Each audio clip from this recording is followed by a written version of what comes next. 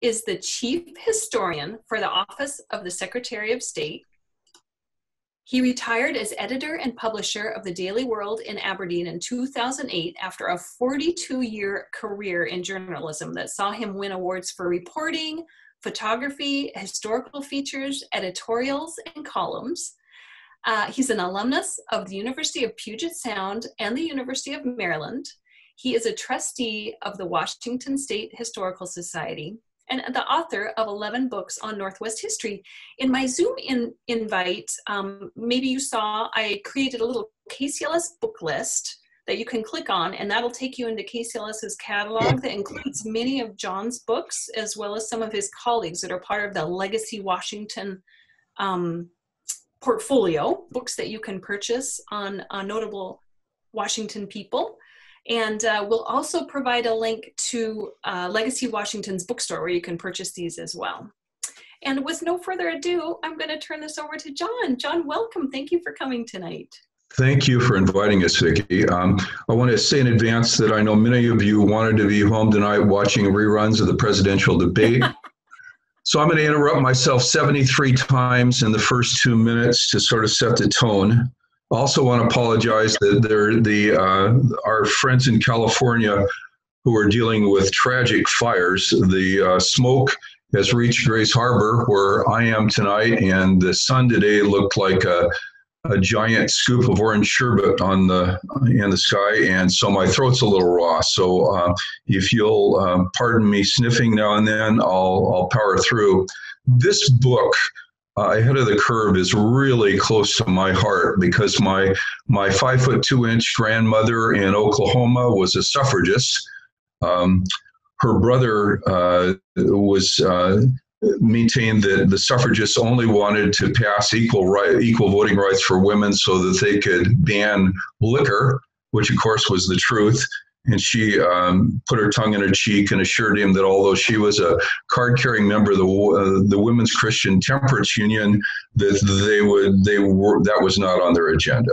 Uh, it's really great to be at Mercer Island too because I spent several days when I was researching my biography of Governor Spellman at the Mercer Island Library. Many of you know that he grew up at Hunts Point and he had a front row seat for that debate over the first Mercer Island floating bridge. Uh, so I, I had a, a, lot of interest. The librarians at Mercer Island were wonderful. There's some important historic documents there. And as a former uh, Timberland Regional Library trustee, I am one who gets to work at the Washington State Library, which is an absolute treasure. Um, it's always a pleasure to be at a library.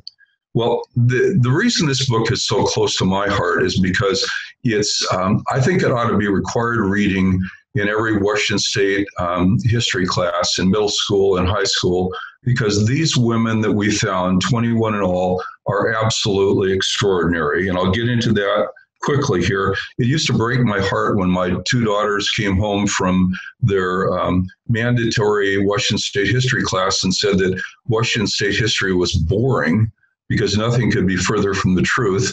And, and I think we've got past the day when the Washington State history classes were taught by former uh, volleyball coaches who had little interest in that, with all due respect to former volleyball coaches. But uh, having written widely about Washington State history for the past 40 years, this collection of remarkable women is, is just absolutely amazing.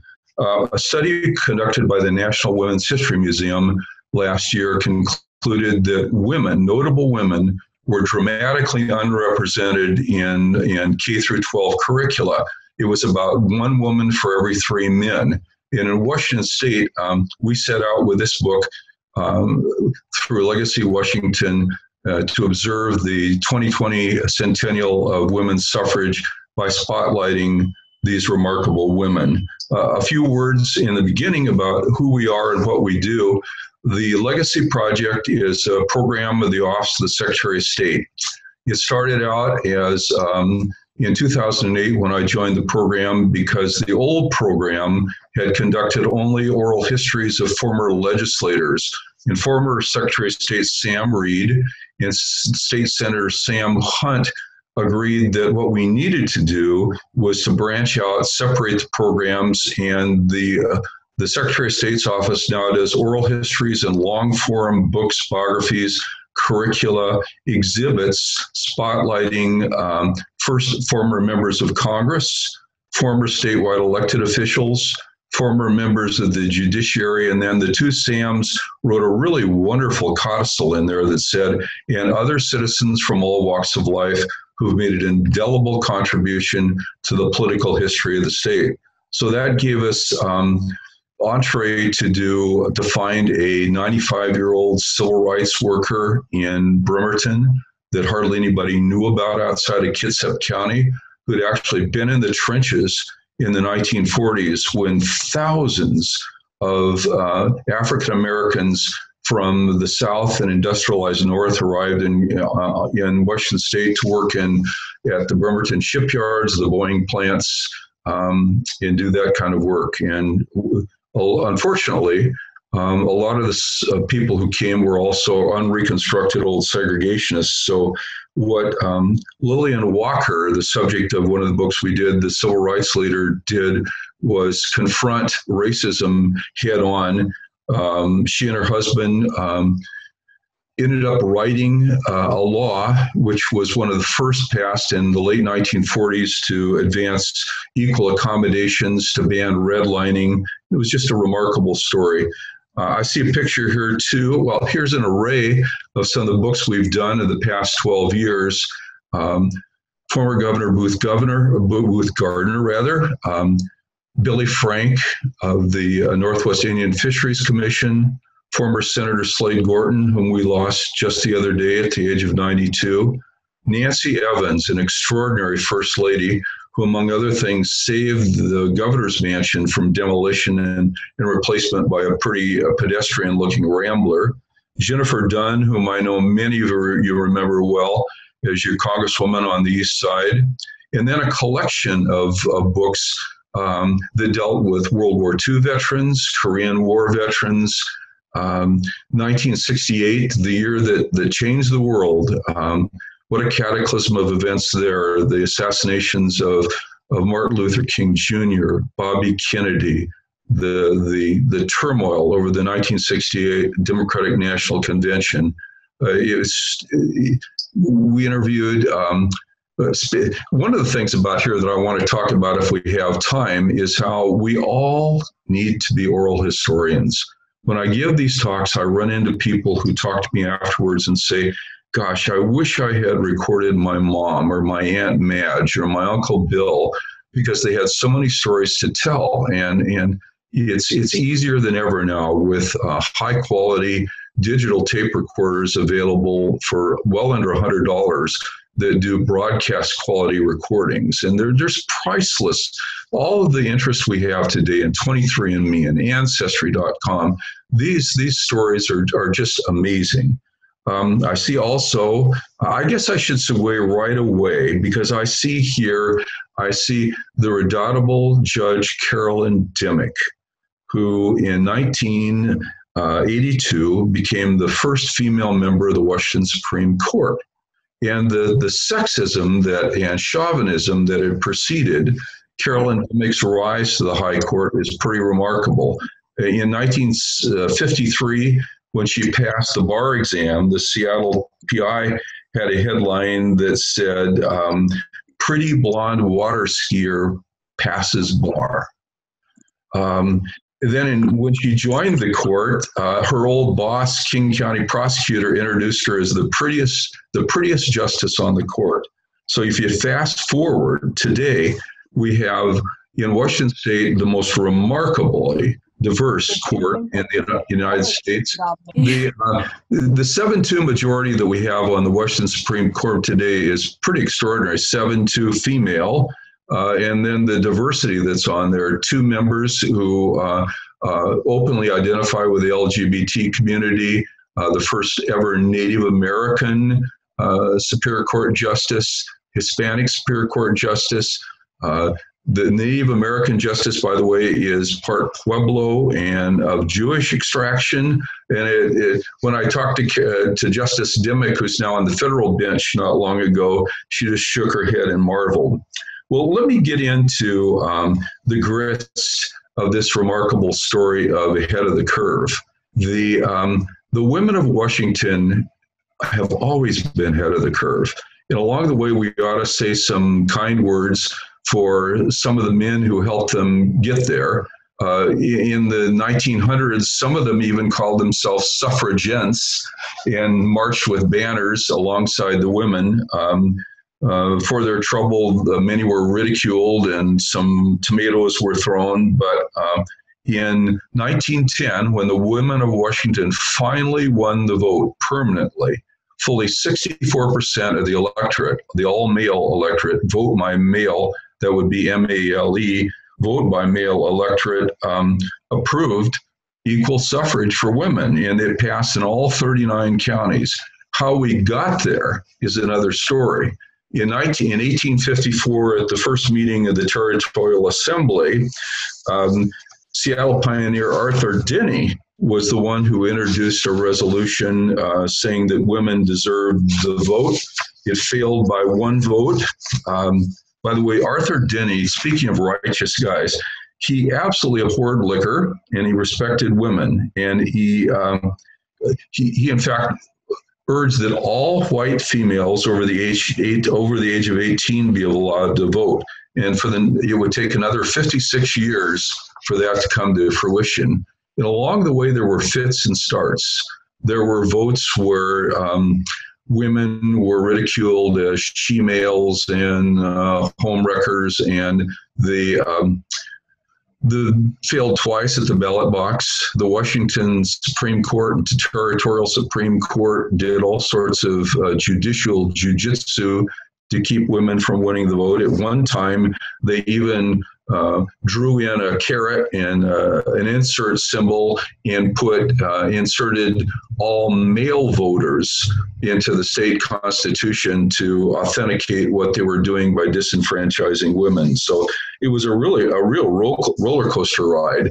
The next person we ought to meet uh, is a book within a book and ahead of the curve, and her name was Josephine Corliss Preston. I was introduced to Josephine Corliss Preston. And what a remarkable woman she was because Secretary of State Wyman, when I was in her office one day, I noticed next to her photo, frame photo on the wall and her election certification, there was a photo of jo- jo- Josephine Corliss Preston. And I said, hmm, this is interesting. Why is she there? And she said, because she was the first ever statewide female elected official and the first and moreover Republican. And it took 100 years for the next female Republican to be elected. So there was a, a real kinship there. Josephine, well, mainly she was Republican because there weren't many Democrats in Washington state in 1912, at least who had uh, much moxie. And she, her story is just remarkable. She was um, had been a 16 year old school teacher on the on the plains of Minnesota before she came to uh, Walla Walla, Dayton, and um, had a short lived marriage. And uh, that I think we can read between the lines fell apart because Josephine was so insistent about continuing her career as a teacher and, and wanting to move up. And so she became the first ever female superintendent of schools in Walla Walla County at a time when women could not vote for themselves. And when women won the vote in 1910, um, there's a fascinating story, by the way, about that. The Wyoming was an early adopter, one of the first, uh, in fact, to uh, grant female suffrage. And I, when I was studying for this presentation, I found out for the first time, and I wished I had it in the book, that one of the reasons is that there were there were six thousand men in Wyoming and only a thousand women, and they thought that if they uh, if they staked out a, a, claim as a progressive state, like the Mercer girl, they could re- attract more women and find brides. So so much for Wyoming. The um, in 1910, when Josephine Corliss Preston really got active in the suffrage movement after having, hearing the redoubtable Emma Smith DeVoe get a, a speech at uh, Whitman College, um, she leapt into it feet first and um, and just became so passionate about equal rights. The what was fascinating to me was that the women's club movement had played such a key role in, in advancing equal rights. And it, uh, along the way, it also attracted women of all different political persuasions socialist women, conservative women, liberal women, gay women who were pretty much closeted. Um, and it coalesced in 1912 with uh, Josephine's candidacy for, for state superintendent of public instruction. There were no less than three women on the vote on the ballot, including a socialist, a firebrand socialist like Helen Gurley Flynn, and uh, and the speech making was really pretty remarkable. And also that year, we had the remarkable uh, confluence of Theodore Roosevelt seeking a third term to the presidency as a progressive on the Bull Moose ticket. Uh, William Howard Taft, the incumbent Republican, and Woodrow Wilson, the, um, the, intellectual former Princeton University president, involved. And the outcome, of course, was that um, they were jockeying for position in the women's votes or not. Taft um, it was sort of tone deaf on that and uh, gave some speeches that that were half-hearted at best about suffrage. Uh, Wilson was a latecomer to the notion, but then he got on board. But Teddy Roosevelt was in there with all of his bull moose vigor, uh, wooing the women's vote. And there, and for that, there were cartoons that were done that showed Roosevelt uh, dancing around a maypole with uh, suffragists in their their sashes and their bonnets, and it was pretty amazing stuff. Well, Josephine Corliss Preston was elected superintendent of public instruction. And they, they had no real idea, I think, even the Republicans and the kind of reformer they were going to get, because she hit Olympia like a whirlwind. Um, and she advocated a whole wealth of, of reforms. For example, the the the uh, the notion that that women teachers should actually be paid much as men. They were the, they were by far and away the majority of teachers in the public school system, but they were still being disenfranchised yet again, discriminated against by not earning as much as the men on the as the notion that the men, most of whom had families, needed that that extra income, and she wasn't putting up with that.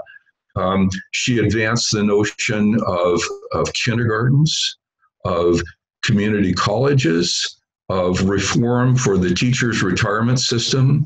Uh, it, it, was absolutely remarkable. And she, uh, in her third term, she ran headlong into a troglodyte governor named Roland Hartley from Everett, who maintained that they should that, that there shouldn't even be public financing for uh, public schools taxpayer financing that, that we were coddling the youth of, of the state and that, that in kindergartens in particular him were, were just uh, anathema. So jo- Josephine won that battle. Um, and uh, she, she ran into a lot of trouble from the men on, our, on her staff. And she tried to be uh, uh, diverse in her in her staff, such as it was about six or seven at the time, and they resented her and portrayed her often as being headstrong and willful and all those things that supposedly aren't uh, uh, strong women. Um, we value those those those attributes in in, in women, uh, in men rather, but women they were seen as unseemly. So that's what she had to deal with. And after um, four terms, they finally bumped her off in the middle of a of a, a, a financial crisis for the state, but she was the gold standard. Uh, what she accomplished, the along the way, soon after she became superintendent of public instruction, she was elected president of the National Education Association, which then included superintendents and principals, and became an absolute nationwide force for um, for better education. When she left office, after they finally, the men finagled to get her out of office, the United States Department of Education said that Washington had the most progressive, finest schools in the nation. So there's a book within a book. She's ahead of the curve and uh, will always be there. And I, it's just such a treat to uh, educate with this book and with talks like this, a whole generation of people who had no idea who she was. And I hope we can change that.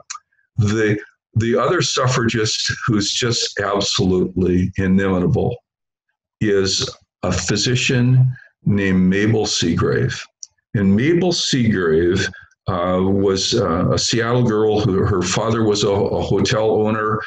She uh, excelled in math and the science in the sciences and in uh, matriculated to Wellesley College, an elite East Coast girls' school, women's school.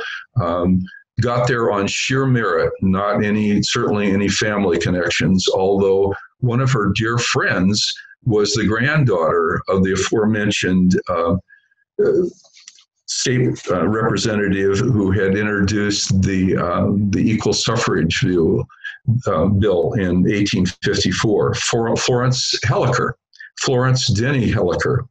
Uh, together at Wellesley College, they they were um, amazing progressives. Uh, Teddy Roosevelt all the way, and in 1911, um, on again on pure merit. Um, Dr. Seagrave or uh, Seagrave, Mabel Seagrave was admitted to the Johns Hopkins Medical School. And Johns Hopkins was a, a progressive medical school in its day for admitting women. She graduated in 1911 as one of seven graduates. And with the outbreak of World War uh, I, uh, she had been such an active suffragist that the National Women's Suffrage Association sent her and her classmate Florence Denny Helliker to the front lines in France. Dr. Seagrave is a surgeon, in Florence Denny, who had become a club woman in Seattle and society lady, uh, also w- well known for philanthropic work, among uh, uh, impoverished children. Uh, Florence took a, a, a, crash course in, in rudimentary x ray work, and uh, off they were to France. Well, when they got to France, it was pretty amazing. The French, for one, appreciated the lady doctor from Seattle who was remarkably intrepid and organized village people to, to help treat the wounded and treat the thousands of refugees who were caught up in the war as well. Come um, late in 1918, there was the eruption of the so-called Spanish flu. And if ever there was a, a, libel against the Spanish, it was the Spanish flu because the flu didn't originate in Spain. It originated on the east coast of the United States, and we imported it to, to France and Europe. But the uh, one of the things that we've forgotten in the middle of this horrendous, horrendous pandemic that we're enduring is that the Spanish flu was decimated people around the world. The estimate is that at least 50 million people died, and a lot of experts think it was twice that, 100 million. So after the armistice, uh, Dr. Seagrave stayed on to treat victims of the Spanish flu at great peril to her own her own health. Um, the uh, by the way, uh, I find it fascinating that President Trump's grandfather, 49 year old Friedrich Trump, died of the Spanish flu between 1918 and I think it was in 1919.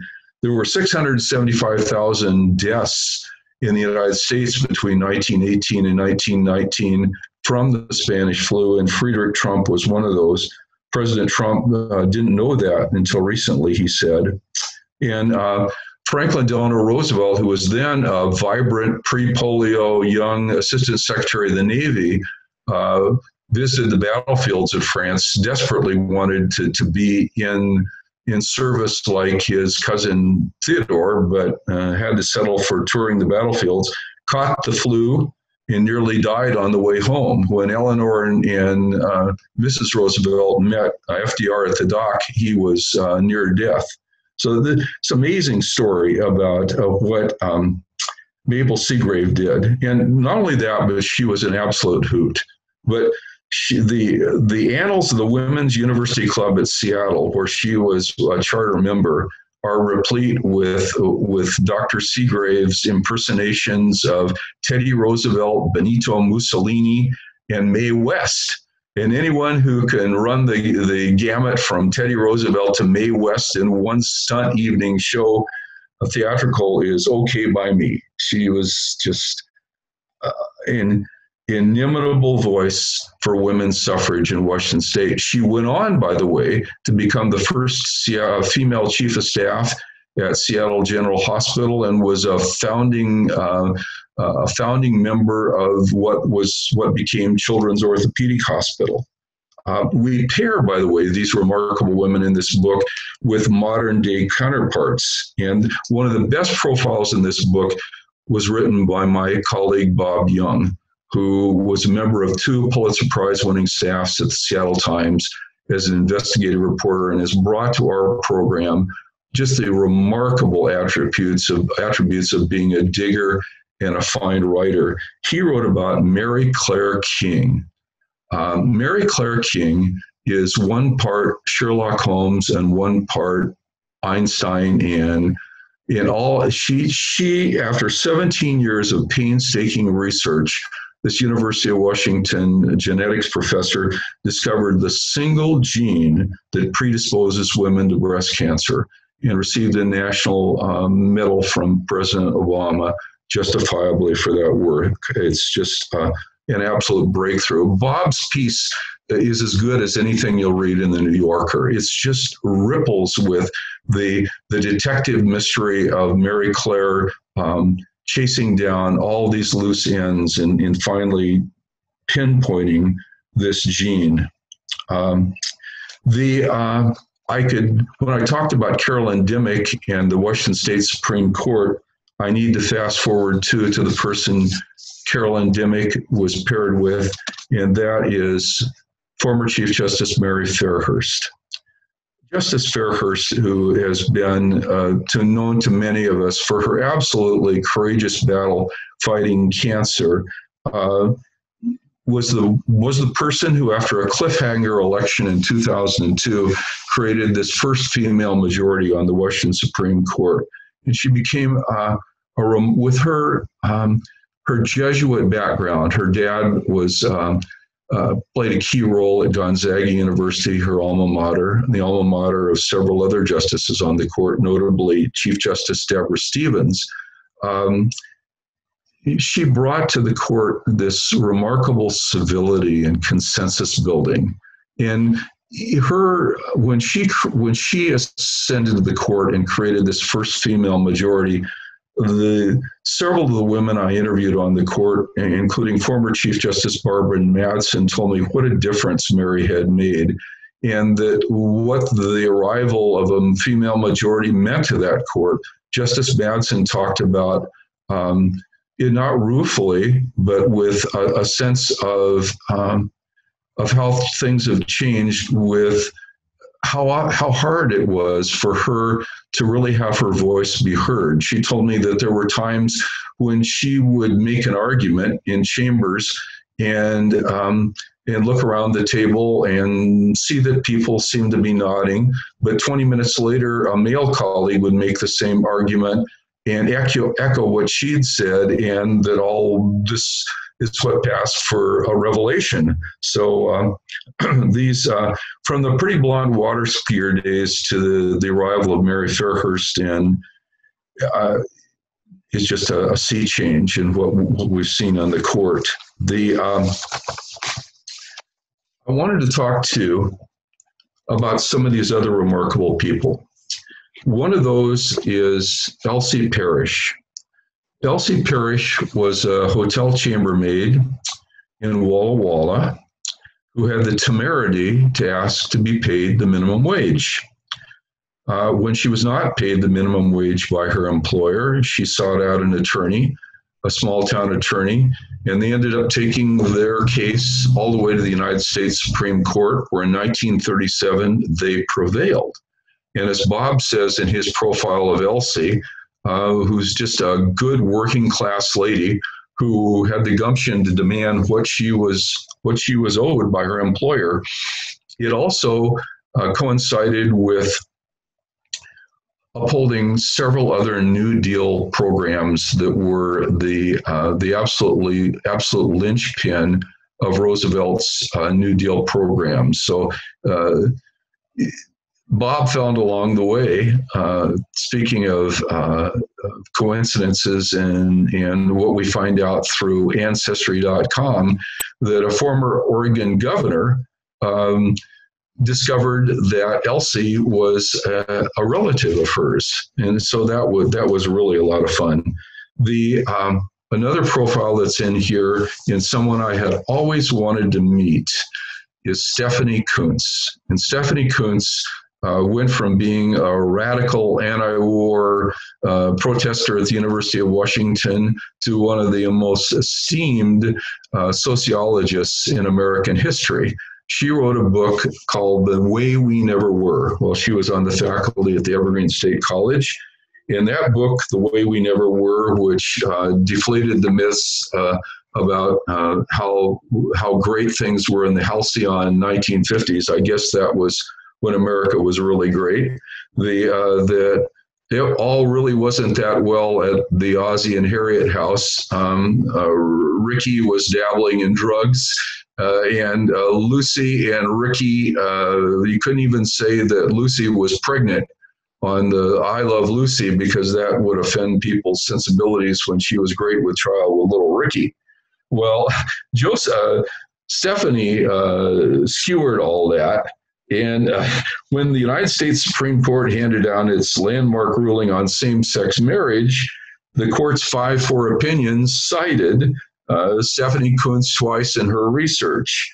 Uh, just after Confucius and Cicero, by the way. So I would really urge you to read The Way We Never Were, because one of the whole traits of getting to know this book is getting to, to have dinner with Stephanie Coontz when she had our whole staff over to the house and find out uh, what a remarkable sociologist and teacher she is.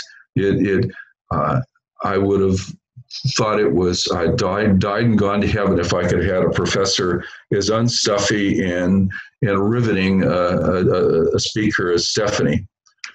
For me, um, one of my first um, beats as a young reporter at the Aberdeen Daily World in 1966 was covering the Quinault Indian Nation when it was asserting for the first time its treaty rights and rights to self determination. Um, Fast forward to my time as a covering the Boldt decision on Indian uh, uh, treaty fishing rights, and then one of the people I met in the 1980s was a brilliant young girl, teenage girl named Fawn Sharp, who grew up to be the president of the Quinault Indian Nation, and in 2019, at the age of 49, the president of the National Congress of American Indians. And her story in this book is, is, is pretty wonderful. Um, she has resolved, um, her tribe, by the way, uh, at the ancestral village of Taholah, is um, barely at sea level. So, given what we know now about uh, tectonic plates and the necessity to, to be prepared for the big one if and when it comes, which it surely must, um, where the tribe is busy trying to move the ancestral village to higher ground to um, to exercise self-determination and hold big oil accountable for uh, the uh, what we're seeing it's in climate change. And fawn is right in the middle of all that. Uh, we should really watch her career because i would not be surprised to see her as uh, a future United States Senator or Supreme Court Justice in her own right. She graduated from Gonzaga at the age of 19, went on to the University of Washington to earn a law degree, and is um, a remarkable representative of all that's happening in uh, among indigenous peoples to assert their rights um, for equity and justice for this land was their land long before ours. We need to remember that. Who else do we have here? Wow, what a remarkable thing. We've got a woman I interviewed named Linnea Laird. And Linnea Laird became the first ever female chief engineer for the Washington State Department of Highways. She's um, a small, soft spoken, but dynamic woman who, just through sheer competence and engineering brilliance made her way in the Washington State Department of Transportation when a whole series of bright women were moving up. Paula Hammond as Secretary of Transportation, um, encouraged, by the way, by some, some really encouraging male mentors. Um, and Linnea, Linnea became um, the first ever female uh, chief engineer. Uh, went on to design the to be head of design and engineering for the new Tacoma Narrows Bridge. And when she retired uh, early, um, she was hired uh, by the city of Seattle to take over the Alaskan Way Viaduct project and the Highway 99 tunnel project. And people in Seattle marveled that when Lin- Linnea arrived, people who had been at cross purposes actually started talking to one another, uh, collaborating, and making sense. And I found her to be um, absolutely one of the most refreshing role models. First, she was so self effacing, say, gee, why are you writing about me? Well, gee, because you're pretty amazing. Uh, we, in pairing these educators, by the way, Josephine Corliss Preston, her opposite number in the 21st century is the absolutely remarkable Ana Mari Cauce, the president, the first female president of the University of Washington. And Ana Mari's story is it reads like um, reads like fiction. Her parents were Cuban exiles from Castro's Cuba. Uh, arrived here, uh, if I recall correctly, her dad was working at manual labor they made their work here a shoe factory, I believe. Um, her, her, father having been minister of education in Cuba, and now he's working in Florida in a shoe factory. Um, it, but Ana Mari never really felt deprived. It was because um, her family was so close knit, valued education as such a, a high calling, and tragedies pockmarked her her her youth. Her brother, an activist, was murdered by the Ku Klux Klan. She arrived at the University of Washington at a, at a, a very uh, uh, cataclysmic time for student rights and the like. Uh, she was held by the student newspaper and other factions to be uh, not sufficiently qualified or minority enough to, to head a department. Um, in her the way she dispelled the naysayers is tells you so much about her character and her intellect. Uh, I, I, have not yet met her, but I but when you read the story, you will meet her. Bob just brings her right off the page into your into your heart. Uh, it's it's truly remarkable. The um, my longtime friend Christine Gregoire, your former two term governor, uh, attorney general, Department of Ecology director, um, is in deservedly in this book for her, her role as a first female deputy attorney general in jawboning the so called comparable worth settlement. Uh, and what a long, strange trip that was to the idea that the value work by plumbers and librarians could be considered compared, and that some jobs were determined to have similar value to an employer. The pay should be equal. It's just a thicket of of legalese, and um, and she navigated it. And after being on one side, uh, brought the settlement to fruition and created for uh, women in in government. Um, the long overdue, some of the long overdue equity that Josephine Corliss Preston had fought for.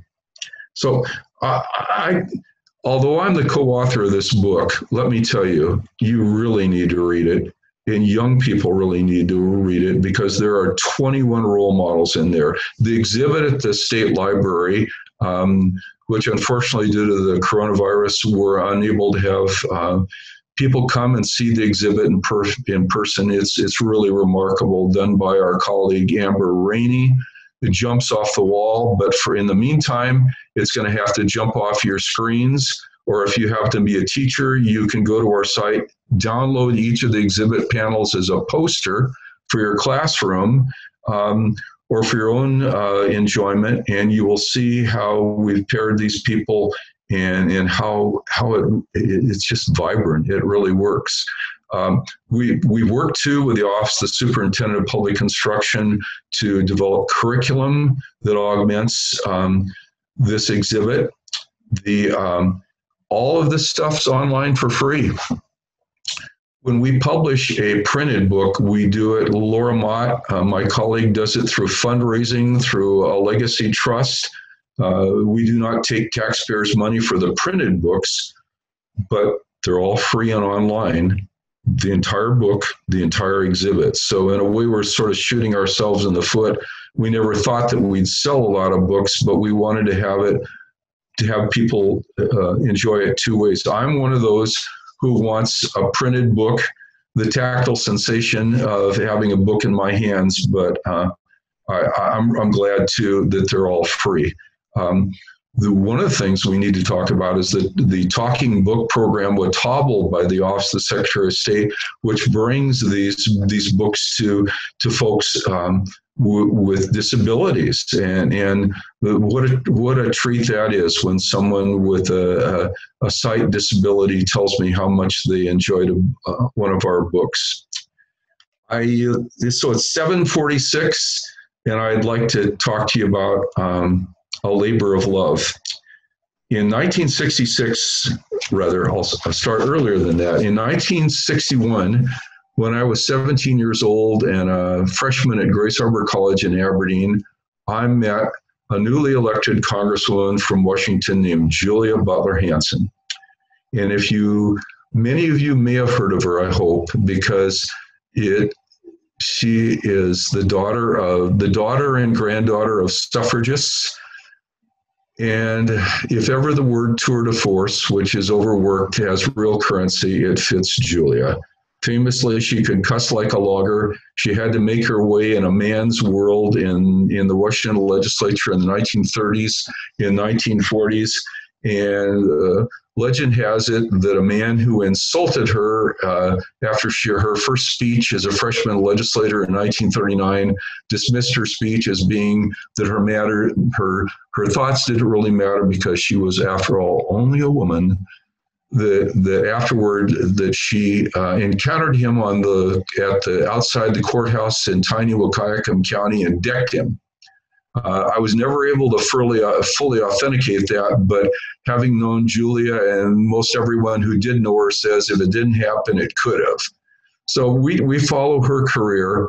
Um, from in 1966, when I became a reporter and started covering politics in Aberdeen, uh, I got to know Julia really well. Um, And there were times when she would call me uh, at 1 a.m. and comment on a story, and it was really pretty remarkable. Consider this Julia Butler Hansen became, um, in 1949, the first woman ever to head the Washington State House, uh, House of Representatives Highways Committee, which was a real big deal. Front page news in the Seattle Times she proceeded, and the reason she got that job is because during World War II, she had been the secretary at the engineering department at, in Wahkiakum County. And when the engineer was called up for service during World War II, she took over as acting engineer with no her by the way her degree and from the university of washington was in home economics and within a year the guys on the road crew uh, figured that she could not only run a road grader, but that she knew more about the highways in in byways and how to lay down a, a, a grade a road than than her old boss, who was off someplace in California in war work. So in 1949, she gets the job. In 1951, she becomes the first female member of the 11 Western States Interstate Highway Commission. In 1956, when President Eisenhower's initiative to build interstate highways really caught fire, in states, uh, the Congress appropriated money for um, for state projects. Julia became one of the most authoritative highway spokesman uh, experts in America, um, as authenticated by no less than stories in the New York Times and the Los Angeles Times. By the way, in 1955, she came within one vote of becoming the first female speaker of the Washington State House of Representatives. It take, would take until 2020 for a woman, Laurie Jinkins, to become Speaker of the House. But uh, Julia, um, three men in particular, uh, engineered Julia's de- demise for that in that race by cutting some backroom deals. But they were still terrified of her. So, afterwards, um, sheepishly came up to her on the floor of the house and said, Julia, no hard feelings, okay? And she said, okay, but I'll get even with you sons of bitches. And that was vintage Julia. And she did. Boy, believe me, did she. Uh, one in particular never forgot because for the next two years, everything that he tried to pass in the House of Representatives got derailed by her committee. Along the way, by the way, she did something really daring. In 1957, a young engineer from Seattle named Dan Evans uh, was got himself elected to the legislature. He was a civil engineer. Uh, Julia was impressed. He was a Republican, but before long, she decided that she needed him on her interim committee on highways because, after all, he was an engineer and she didn't care about the Republican part. Well, members of the Republican Party even in the hierarchy said, hey, that's a really bad idea. They're senior guys uh, who deserved that shot. And besides, the, then the Democrats uh, leadership said, what in the world are you doing? He look at him. He's he's an Eagle Scout. He's bushy tailed. He's going places. And Julia said, "Forget that. Highways are bipartisan. We need him." Um, Dan Evans never forgot that. And when Julia retired from Congress, he named her to the Washington State Highways Commission, where she served with distinction. So it's a fascinating story all around. But in 1967, only six, seven years after Julia uh, was elected to Congress, something extraordinary happened by her sheer moxie and um, the fact that she could be a, a, a woman's man and a man's woman and had all of that that savvy she got herself chosen to head to be the first ever woman to head a congressional uh, appropriations subcommittee.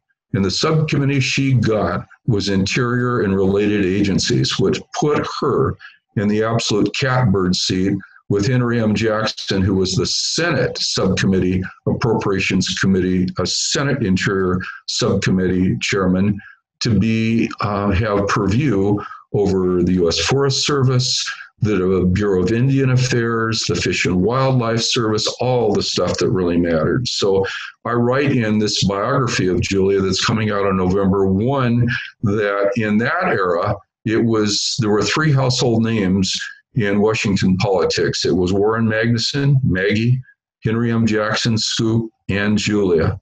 So the, getting to do that book was such a treat because um, although Julia died in 1988, I sometimes uh, imagine her still calling me in the middle of the night to give me hell about some editorial that we hadn't written or ought to write or or had written and um, when she was mad, she always called me Johnny. And the only other person who called me Johnny was my mother. So I knew that I was in trouble. But there's an overview of ahead of the curve and these amazing women in Washington State who really have been ahead of the curve. And I'd be glad to field any questions um, and to talk too uh, about uh, how important I think it is for you to be oral historians in your own right. I can give you about three quick tips on how to do that. People, there's books that have been written about doing oral history. As pro forma, we buy them and we read them. They're they're almost always awful. They they never tell you any of the really important practical things you need to do about doing oral history. So I can save you some money there. With all due respect to other authors, um, you don't need to do a book, buy a book about doing oral history to do oral history. Hi, Vicki. Yeah, mute myself. Did you give the three tips? Well, I'll give the three tips. Yeah. There's three tips on how to do oral history. Yeah. The first one is to do it. My uncle Marvin used to say, We're burning daylight. and we really are. When I think of the stories that we've captured in the past 12 years, John Spellman, Slade Gorton. I mean, the people we've lost, Lillian Walker, the civil rights person, I mean, it's Booth Gardner. And I talked to Booth Gardner when he was on the rebound from his battle with Parkinson's disease and had deep brain surgery. And he was old, his own self, his old um, gregarious self for the six months that I talked to him. And then he fractured his ankle. And the next time I could talk to him, the lights were on, but nobody was home. It was heartbreaking. So, three tips do it make a resolution to do it. If you've got an Uncle Bill or an Aunt Madge or your your dad who was in the Korean War and the Vietnam War has all those stories that has all that genealogy that would be so precious to share, record it. So all you need to do is do your homework. If dad was in Vietnam, do a little go to the mercer island library and check out some books about the tet offensive or whatever dad was in and be knowledgeable enough to ask some some key questions. And the questions you ought to ask are what we call open-ended. So instead of saying to someone when the japanese attacked on december 7 1941 were you afraid and the answer to that would inevitably be yes. Instead of saying that ask Uncle Bill, you were 10 years old in 1941 when the Japanese attacked Pearl Harbor. Tell me all about what happened in Mercer Island the next day and how you felt and what what the teacher said when you went to school and were there blackout lights. Tell me all about it. Just get him talking then the the other rule um, is shut up and listen. Ask the open-ended questions and don't try to dominate the narrative yourself. It's okay to jump in and and, and remind someone to, to sort of prod their memory but be a good listener. And then i guess rule number four maybe it's five i always uh, i always say bring extra batteries because there's nothing worse than being in the middle of a really great interview with your aunt Madge and finding, looking down and seeing that little uh, meter on your your Sony tape recorder go and be out of batteries. Then you got to stop and find batteries. Hope you got batteries, and it interrupts everything. So those are the things to do. How to do oral history. Um, do your homework. Ask open-ended questions. Shut up and listen. Bring extra batteries. That's all you need to know. Well said. Practical. um, one question I had was how does Legacy Washington choose their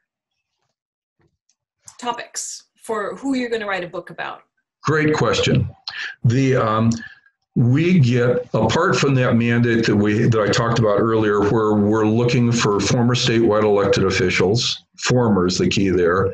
Um, former members of the judiciary, former members of Congress, and these uh, again this this wonderful um, extra added attraction. People from all walks of life who've made an indelible uh, contribution to the political history of Washington State. So there's people on people call and tell us all the time, give us tips about people that, that fit in that category. And um, former appellate court judge Robin Hunt was the one who called me and said, I just went to a Martin Luther Luther King Day program in Kitsap County, and I heard the most incredible woman. She's 95 years old, and she was in the trenches for civil rights and the NAACP in Bremerton, and nobody's ever heard of her. You ought to do a story. So a week later, I was in Lillian Walker's front room with my tape recorder, and the rest is history. It's a really good book. It people ought to know about it. Gallingly, when we were getting to roll out the book, we called the NAACP people in uh, Seattle and said, "Hey, you need to be there standing tall because we're going to honor Mrs. Walker." And the otherwise uh, well-meaning young man I talked to said these immortal words: "We're still trying to figure out who she is." And I said, "Well, with all due respect." I'll tell you who she is. Come to this, come to the book launch and meet uh, Washington's Rosa Parks. She's the real deal. So we we love tips from people all over this great state. We re- we're really trying to be to broaden into Eastern Washington in particular. Um, that's been somewhat challenging because we're here and they're there, but boy, the more the merrier. Uh, we will respectfully listen to every suggestion. Um, someone called the other day. People sometimes are aggrieved by people they see who aren't included. And honestly, um, the best we can do, absent a tip, is not be so encyclopedic in our knowledge that we we actually do know that uh, somebody who lives in Mercer Island or Hunts Points or whatever had a remarkable um, hero story of heroism in Korea, Vietnam, or Gulf War, and we don't have eyes in the back of our heads, and we're not all knowing. So we need we need library patients, patrons we need library patients who, in my experience, are the best read, most informed people in their communities to share these tips with us. Excellent. So you've got your wonderful book coming out in November. Do you have anything on the slate that you're working on currently? Yes, we do. We're going to, Lori Mott, Amber Rainey, Bob Young, and our new teammate, Aaron Poplowski, who used to be with the sadly now defunct Computer Museum in Seattle, are working on a project that spotlights the the artifacts and treasures in the Washington State Library, where we're privileged to work. Uh, and the Washington State Library is a movable feast, friends. Uh, former Secretary of State Sam Reeves saved it from extinction in a round of budget cuts in the Locke administration and said, "Don't you can't close the library? Give it to me. I'll make it work.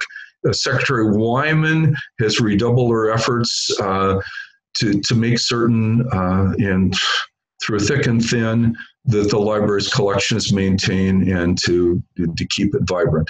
The, so the state library has a, a, vast collection of microfilm from virtually every newspaper in the state since territorial days uh, card catalog files. I'm thrown back to my days as a page at the Aberdeen Library in 1959 with a card catalog file that if you didn't keep up right, then the librarian Rosalie Spellman was going to be very upset with you.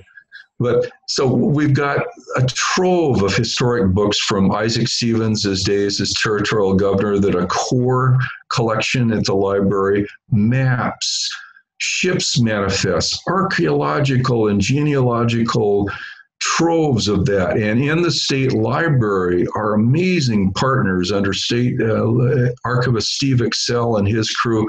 We've got remarkable documents. By the way, the one of the things that we're we're very proud of at the Secretary of State's office is that we have the envy of the world in the Washington State Digital Archives. You can go online to the Secretary of State's website, drill into the the digital archives, and find just amazing stuff that will they'll fuel your genealogical searches. Every the land transfer records, marriages, births uh, cemetery records, prison records. It's all there.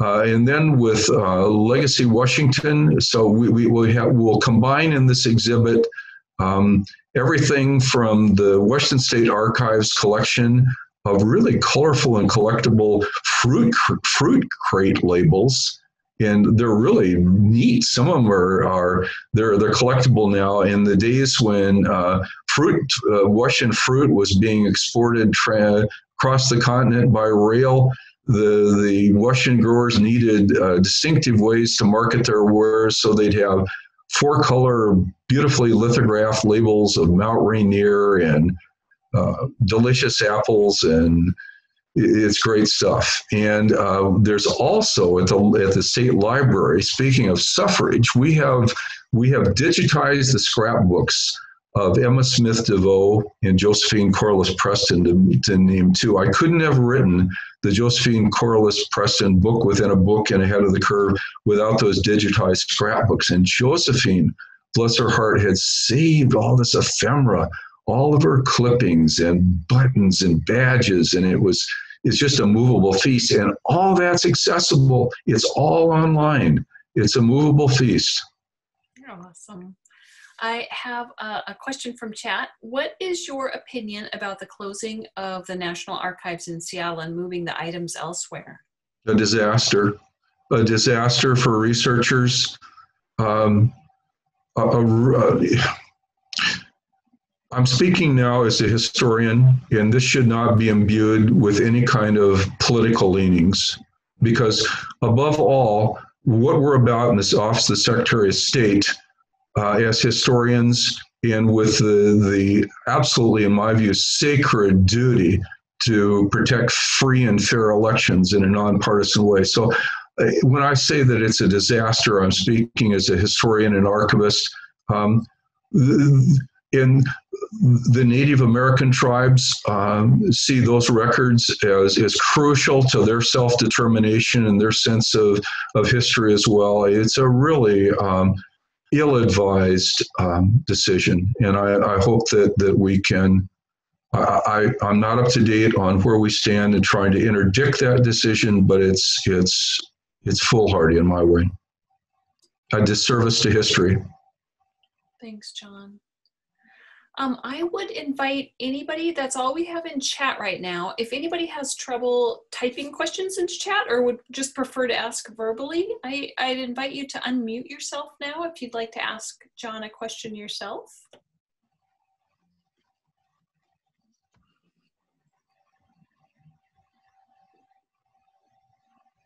John, do you know where all that stuff's being taken to from Sand Point well, Way? Uh, I don't know where it's being taken to, Nancy, but I, I assume it's going to be just um, disseminated to other repositories uh, in in other uh, in other places, making it. Uh, uh, these are just these documents are just treasures. The you know it's said of the Smithsonian that it's America's uh, attic and that um, to the extent that we don't value um, our history in that we can't imbue young people uh, first first our role as librarians and parents uh, grandparents is to give children the magic carpet that a library that a public library is. The hap- uh, my mom um, was a single mom who had a hard time making her way up the ranks from uh, being a clerk to a manager in the telephone company. Uh, my sister and I spent so many amazing afternoons in the children's room at the Aberdeen and Hoquiam public libraries. And that was just, um, it was reading is just a gift. I have a brand new grandson. He's seven months old, but we're already reading to him as we all should be reading to infants, whether it's the, the sheep and the jeep or whatever. And I, his eyes just light up. The um, so when when we were at the Secretary of State's office, Lori, Amber, Bob, Aaron, and I, the people at the archives, and those amazing front-line reference librarians at the state library, we interact with people every day. Not, sadly, not so much now, uh, though the state library is open uh, to researchers. But those people we meet are they're doing important work.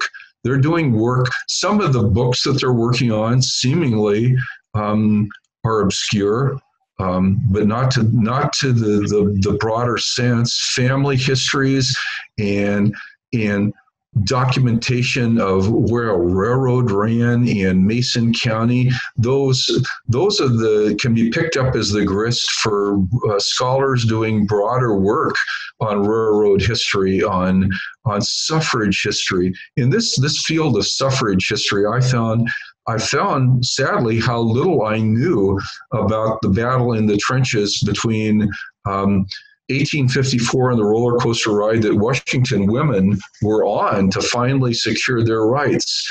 In the business of the way socialist women, Republican women, Democrat women, unaffiliated women in women's clubs fought back against chauvinism. Um, pretty remarkable. Roland Hartley, that gar- that troglodyte governor I mentioned, who who didn't believe that, that, that the public schools deserved any funding, also tried to, well, he purged the, the University of Washington Board of Regents of uh, people uh, who who opposed him. And one of those that he uh, purged was the first ever woman regent. Um, and she had been a suffragist, an author. Um, it's it's a rich history.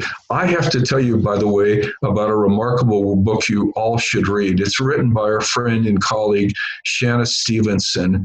It's called Women's Votes, Women Voices, Women's Voices.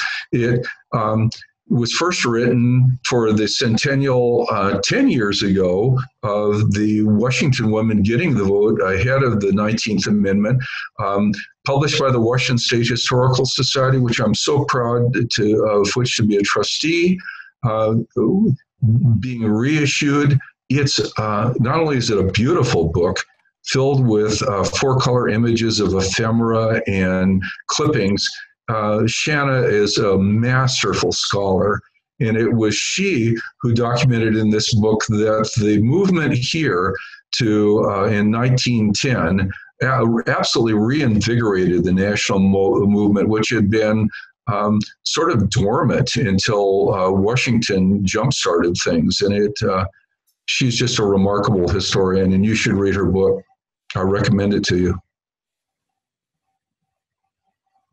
Thank you. I just posted that link into our KCLS catalog for both that one and the one you mentioned earlier, um, Stephanie's book, The Way We Never Were. Posted those links. Uh, we have those in our KCLS catalog. Well, I'll, yeah. Um, th- uh, this is Jane Brom, and I just wanted to let you know that um, I read some months ago that the plans were to move our National Archives to Kansas City, Missouri. That's um, where I'm from, but it's also the National Archives for about seven Midwestern states. So it's an effort to consolidate. I think it's terrible that our records would be so far away. Anyway. Yes. But Kansas City is where they're headed, I'm told. Well, thank you for that. And I just saw someone pipe in with someone who absolutely deserves a biography of her own, of her own, and that is Maud Kimball Butler, Julia Butler Hansen's amazing mother. Maud Kimball Butler, like her friend Josephine Corliss Preston, was elected a county school superintendent at a time when she could not vote for herself, when women couldn't vote. And Maud Kimball Butler uh, became Wahkiakum County School Superintendent, a deputy superintendent of public instruction under Josephine Corliss Preston, um, and and one of the a, a, historian in her own right, an inspirational teacher, and one of the best watercolorists in Washington State history. I mean, her the Washington State Historical Society did a whole uh, monologue of a collection of Maud Kimber, Kimball Butler's um, watercolors. In 1962, um, Maud Kimball Butler, um, because of Julia's extraordinary achievement of being the second ever woman elected to Congress in Washington State, was named Washington's Mother of the Year. And Maud was very self effacing. Uh, her daughter Julia was a member of the United States Congress. Her son James was the director of the film school, the uh, the at the uh, at USC, and uh, Maud said it was just that what you needed to do was to expose children to learning and encourage them to be themselves, and she was just how I wish I could have known her. And like like Maud, Maud's mother was uh, a suffragist who really railed in the 1890s as a pioneer woman that men, she said that that uh, that the men could get stinking drunk and go off to the polls and cast their votes and and and make deals and sell their votes. And here she was, uh, a learned woman um, reduced to being the on the sidelines because of, of pure chauvinism. Uh, it's, it's a it's a really remarkable family story. All right, yeah, thank you for that comment. All right, folks, I think that this about wraps up our program. I want to thank John and Lori from Legacy Washington. John, wonderful presentation and um, Yeah, my honor. That's incredible. I encourage people to check that out either through the library or through the direct link to Legacy Washington's bookstore. I want to thank um, the Friends of the Mercer Island Library for sponsoring this program, and of course, my beloved Mercer Island Historical Society for um, giving us the inspiration to reach out to, to Legacy Washington and John and bring them here tonight. So, thank you all. I hope you have a wonderful evening, and thank you for joining us. Thank you. Thank you. Keep Bye-bye, reading. everyone.